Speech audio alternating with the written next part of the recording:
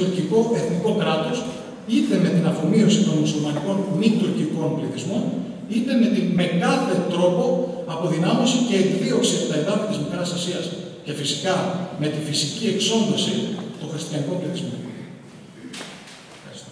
Πρακτικές που αναφέρονται και στις τουρκικές πηγές, καθώς και στα κείμενα και στις αναφορές των δυτικών, στρατιωτικών, πολιτικών και ιεραποστόλων.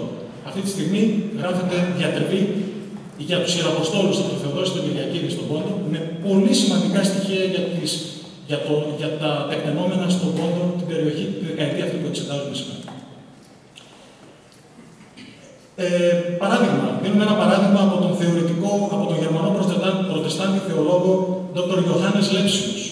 Έγραψε το συνέδριο εννοεί των Νεοτούρκων επιβεβαιώνει ότι αργά ή γρήγορα η Οθωμανοποίηση όλων των λαών της Οθωμανικής Αυτοκρατορίας πρέπει να ακολουθήσει. Και αν αυτό δεν μπορέσει να επιτευχθεί με ειρηνικά μέσα, δεν πρέπει να διστάσει κανείς μπροστά σε βία ή ακόμη και σε στρατιωτικά μέσα.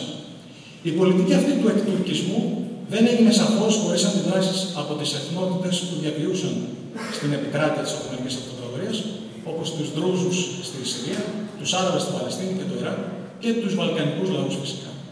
Ιδιαίτερα αναφορικά με την ελληνική περίπτωση, συνεπία των Βαλκανικών πολέμων, βαρύ πλήγμα της Τουρκίας στην περιοχή, παρατηρήθηκε όξυνση του τουρκικού εθνικισμού, εκφρασμένου πλέον απροκάλυπτα από την τουρκική τριανδρία, την ηγετική τριανδρία των Νεοτούρκων, τον Τσεμάλ Πασά, Ισμαήλ Ενβέρ Πασά και τον Ταλάτ Πασά.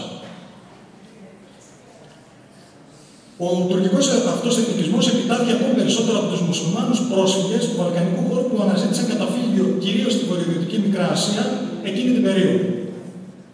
Από τις πτήσει της αυτοκρατορίας που χάνονται. Ξεκίνησαν λοιπόν από τα δυτικά παράλια οι Νεοτουρκοί ήδη από το 1913. Αυτοί οι εκτοπισμοί του λεγόμενου ε, από τα μέλη του Νεοτουρκικού Κομιτάτου εκτοπισμοί του εσωτερικού εχθρού. Στην προηγουμένη περίπτωση τους συμπαγού ελληνικού στοιχείου.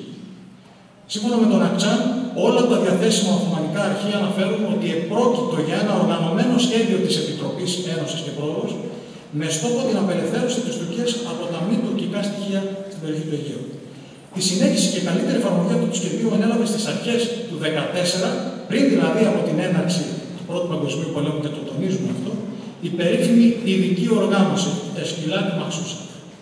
Ενδεικτικά αναφέρουμε ότι, για παράδειγμα, στην περιοχή της Ποντοϊράκλειας, στα Ανθρακοριχεία, στη Μαύρη Θάλασσα, οι νεότουρκοι εφάρμοσαν, εφήρμοσαν όχι τυχαία πιέσεις, κλείνοντας σχολεία, επιστρατεύοντας πληθυσμό, πιέζοντας τους εμπόρους, άρα την οικονομική δύναμη της περιοχής και βέβαια αφαιρώντας, δυνεύοντα περιουσίες.